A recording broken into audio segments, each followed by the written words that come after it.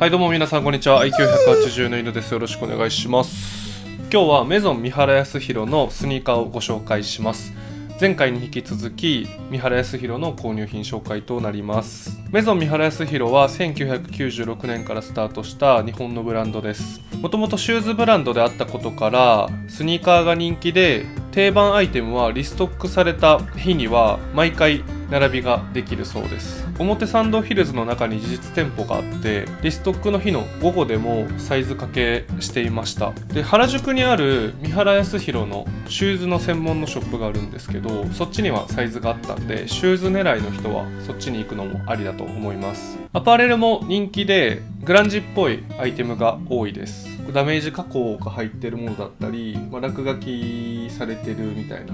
デザインだったりあとはグラフィック系も多いですね。今回の購入品は表参道ではサイズがなくて伊勢丹で買ったんですけど服も表参道より伊勢丹の方が多かったんでサイズが服は伊勢丹で見るのもありかなと思います。私が購入したのはこちらのスニーカーでお値段は5万3900円でサイズは42を購入しました。ブラックの他にホワイトの展開もあります。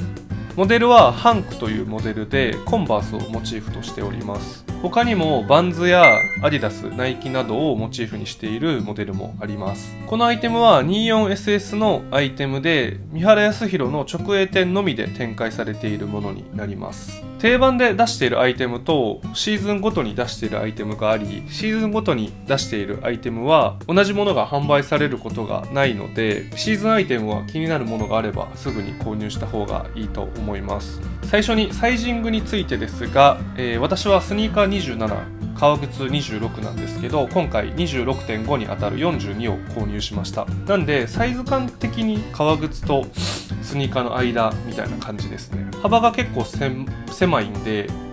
幅優先で42にした感じですね。なんで長さで言うとちょっと余ってるっていう感じのサイズ感になってます。なんで足幅が狭い人はもうワンサイズ下げてもいいかなと思います。ただ、まあ、デザイン的には大きめに入った方が個人的には可愛いんじゃないかなと思います。アッパーには牛革が使われており表面はひび割れているような加工になってます。でえーと、レザーが使われているものもこれはレザーが使われてるんですけどキャンバス地のモデルもあります。全く同じ形でキャンバス地のものもあります。でソールにも同様のこうちょっと使って汚れたみたいな加工がされています。ソールが特徴的でデザイナー自身が粘土の型で作っているそうです。シューレースは極太でこちらもヴィンテージのようなくすんだ色味になってます。今はボロければボロいほどかっこいいっていう価値観なんで定番のこう綺麗なやつではなくてこういうヴィンテージっぽいものにしました。ボリューム感のあるシューズなんで細身のパンツよりは太めで丈感が長いパンツの方が相性がいいんじゃないかなと思います。あとはハーフパンツとかとも相性がいいんじゃないかなと思います。はい。では早速履いていきますはい着てみましたグラフペーパーの T シャツとアクネのデニムで合わせました。超シンプルなスタイリングなんで、よりこのシューズが映えるんじゃないかなと思います。今回は無地のアイテムと合わせていますが、プリント T とかも相性がいいと思います。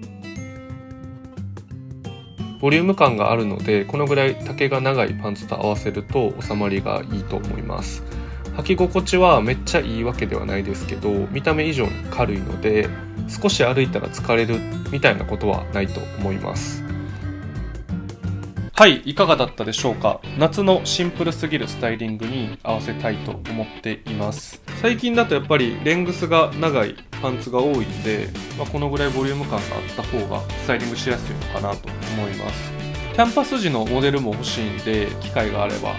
ボロい系のやつが販売したらまた購入しようかなと思ってます。オンラインでまだ在庫があるので気になる人は店頭でサイズを確認してオンラインで買うのもありだと思います。はい。ということで本日の動画は以上となります。本日もご視聴ありがとうございました。さようなら。